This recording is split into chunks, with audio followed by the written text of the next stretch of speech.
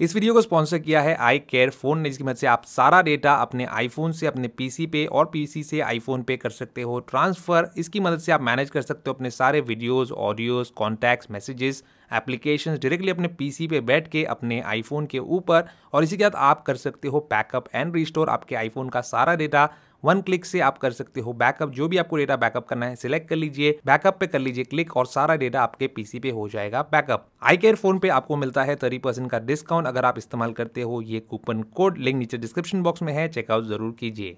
हाय दोस्तों अस्सलाम वालेकुम कैसे आप लोग? मेरा नाम नबील है, एक पबजी प्लेयर लड़का इंडिया का, सत्रह साल का। उसने अपने घर वालों के जो पैसे थे बैंक में जमा, जो उसके फादर के मेडिकल एक्सपेंसेस के लिए थे, उसमें से 16 लाख रुपए पबजी में उड़ा दिए। किस तरीके से उड़ाए? कोई वो छोटा बच्चा तो था नहीं, सत्रह साल का था, लेकिन उसको वो गेम के अंदर इतनी ज़्यादा लत लग चुकी थी, चीज़ें खरीदने की अलग अलग कपड़े खरीदने की अलग अलग चीज़ें खरीदने की कि उसने वहाँ पे शॉपिंग करता रहा और over a period of time शायद हो सकता है साल भर खर्चा किया होगा, पता नहीं उसके पेरेंट्स को मैसेज जाता होगा, नहीं जाता होगा, उसने 16 लाख रुपए इस गेम में गवा दिए। किसी भी गेम के अंदर, चाहे वो सबवे सर्फर जैसा एक मामूली गेम क्यों ना हो, आपके लाखों रुपए जो है उड़ सकते हैं, उसकी चपत आपको लग सकती है। अगर आपके घर में बच्चे हैं या बच्चे नहीं हैं, ये आपके हाथ से भी ये चीज़ हो सकती है। और अगर आप एक आईफोन यूज़र हो तो आज का वीडियो आपके लिए बहुत इंपॉर्टेंट है।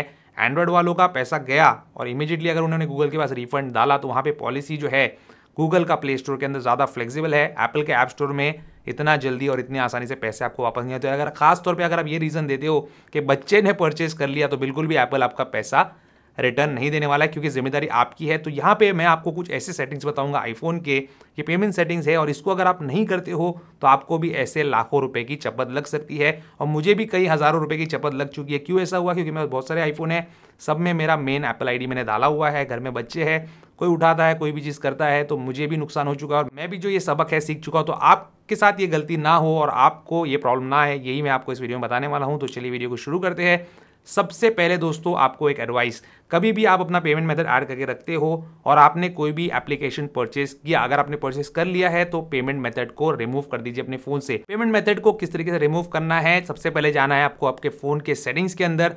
सेटिंग्स में जाना है, आपको एप्पल आईडी के अंदर जो आपका नाम लिखा है, वहाँ पे होता है आपका एप्पल आईडी उसके अंदर जाइए, उसके बाद पेमेंट्स एंड शिपिंग पे जाइए, उसके बाद आपको नज़र आएगा आपका पेमेंट मेथड और रिमूव पेमेंट मेथड पे क्लिक करके उसको रिमूव कर दीजिए। अभी दोस्तों एक बात का ध्यान रखिए। ज़रूरी नहीं कि आप इस तरीके से अगर रिमूव पेमेंट मेथड करेंगे तो आपका पेमेंट मेथड रिमूव हो जाएगा। इट इज़ नॉट नेसेसरी क्योंकि अगर आपने कोई भी सब्सक्रिप्शन ले रखा है, चाहे वो आई क्लाउड का सब्सक्रिप्शन क्यों ना हो, या फिर कोई भी ऐसा एप्लीकेशन जहाँ पे आपने उसको सब्सक्राइब करके रखा है, जहाँ पे हर साल वो बिल करता है आपको या हर महीने करता है, आप अपना पेमेंट मेथड नहीं निकाल सकते जब तक कि आपने कोई दूसरा पेमेंट मेथड वहाँ पे ऐड करके नहीं रखा है।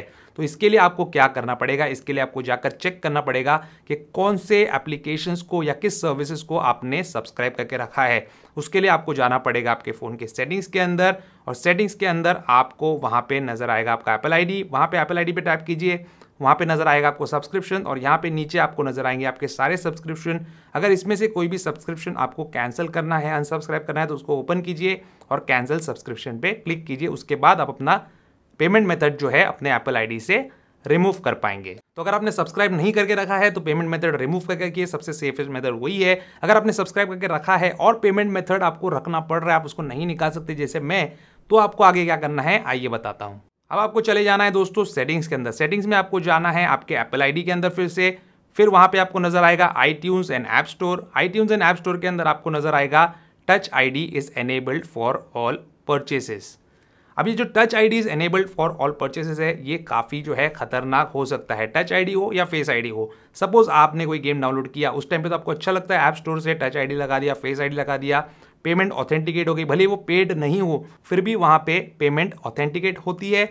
और वहाँ पे जो है आपका फ्री एप्लीकेशन भी डाउनलोड हो जाता है फ्री ऑफ़ कॉस्ट भरी लेकिन जब आप उसके इन ऐप परचेज पे कहीं गलती से क्लिक करते हो और वहाँ पे इंस्टेंटली आ जाता है कि आपको टच आईडी लगाना है पेमेंट के लिए या फेस आईडी लगाना है और अगर आप वो चीज़ कर देते हो तो आपके ज़रिए से भी अच्छा खासा अमाउंट आपके बैंक अकाउंट में से डिडक्ट हो सकता है और बच्चों के साथ तो ये हो ही सकता है। तो इसको किस तरीके से हम रोक सकते हैं, आइए आपको बताता हूँ। अब आपको चले जाना है दोस्तों आपके फ़ोन के सेटिंग्स के अंदर। सेटिंग्स में आपको नज़र आएगा फेस आईडी एंड पासकोड या फिर टच आईडी एंड पासकोड इस पर टाइप कर लीजिए, अपना पासकोड एंटर कर लीजिए। उसके बाद यहाँ पे आपको क्लिक करना है turn off I and app store के ऊपर।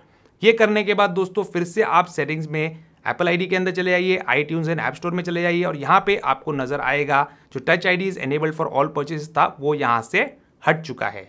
अब touch ID is enabled for all purchases तो यहाँ से हट गया। लेकिन इसके बाद भी एक और सेटिंग होती है, जहाँ पे अगर आप मैनुअली पासवर्ड एंटर करते हो कोई भी एप्लीकेशन डाउनलोड करने के लिए, या फिर कोई भी परचेज अगर आप करते हो एप्लीकेशन तो उसके बावजूद आपका बच्चा या आपके घर का कोई मेंबर या आप खुद भी एक्सीडेंटली कोई भी पेड सर्विस या कोई भी पेड कपड़े या कुछ भी चीज़ जो है डाउनलोड कर सकते हैं, अपने पैसे गवा सकते हैं। तो इसको कैसे रोकना है? आइए ये भी बताता हूँ मैं इसके लिए आपको सेटिंग्स में जाना है एप्पल आईडी में iTunes and app store के अंदर और iTunes and app store के अंदर अभी आपको नज़र आएगा पासवर्ड सेटिंग्स पासवर्ड सेटिंग्स पे आपको टैप करना है। यहाँ पे आपको दो ऑप्शन नज़र आएँगे ऑलवेज रिक्वायर या रिक्वायर आफ्टर 15 मिनट्स तो इसको हमेशा ऑलवेज रिक्वायर पे रख दीजिए। अगर आप रिक्वायर्ड आफ्टर 15 मिनट्स पे रखेंगे तो 15 मिनट के अंदर अगर कोई भी परचेज मेक करता है तो ऑटोमेटिकली पैसा डिडक्ट हो जाएगा। और required password for free purchase का भी ऑप्शन है। ये required password for free purchases भी इंपॉर्टेंट है। अगर आप नहीं चाहते कि आपका घर का कोई भी मेंबर जो है बिना पासवर्ड एंटर किए कोई भी एप्लीकेशन आपके फ़ोन में डाउनलोड कर ले।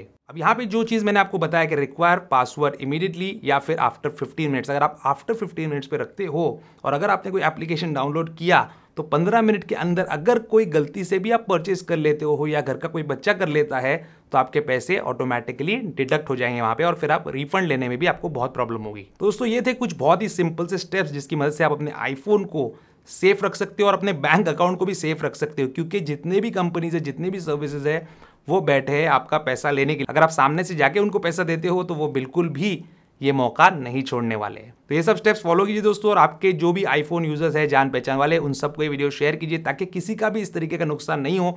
मैं भी ये न्यूज़ देख के शौक हो गया तो सोचा क्यों ना आपके लिए वीडियो बनाऊँ ताकि आप लोग भी सेफ़ रहे सिक्योर रहे। दोस्तों, एक और बात बताना चाहता हूँ मैं आपको। आजकल मैं अपने जो ये वीडियोस है यूट्यूब वाले, ये फेसबुक पे भी डाल रहा हूँ क्योंकि कोई प्लेटफॉर्म का भरोसा नहीं है। अगर आप मुझे वहाँ पे फॉलो करेंगे, मेरे पेज को वहाँ पे लाइक करेंगे तो मुझे जो है बहुत खुशी होगी। वहाँ पे भी मुझे आपके सपोर्ट की ज़रूरत है। यहाँ पे मेरा फेसबुक का आईडी आपको नज़र आ रहा है। इसको बस फेसबुक में जाके सर्च कीजिए। या नीचे डिस्क्रिप्शन बॉक्स में लिंक है। उस पर जाके टैप करके मुझे फेसबुक पे, मेरे पेज पे ज़रूर मिलिए। उम्मीद करता हूँ दोस्तों आपको आज का वीडियो पसंद होगा। पसंद होगा तो इसको लाइक एंड शेयर ज़रूर कीजिए। और मेरे चैनल को सब्सक्राइब ज़रूर कीजिए। Good bye